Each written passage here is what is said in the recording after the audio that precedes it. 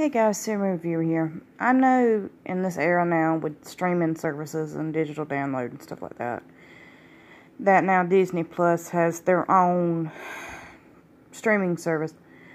But here's my problem with that, especially with Netflix. I'm still mad at them.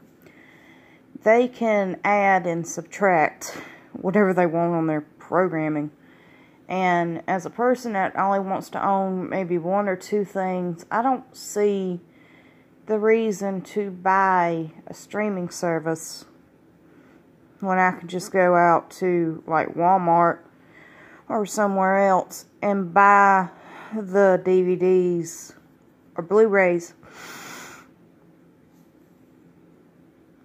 Sorry. Blu-rays I want. And um have them in my collection forever. Talk to y'all later. Same reviewer out.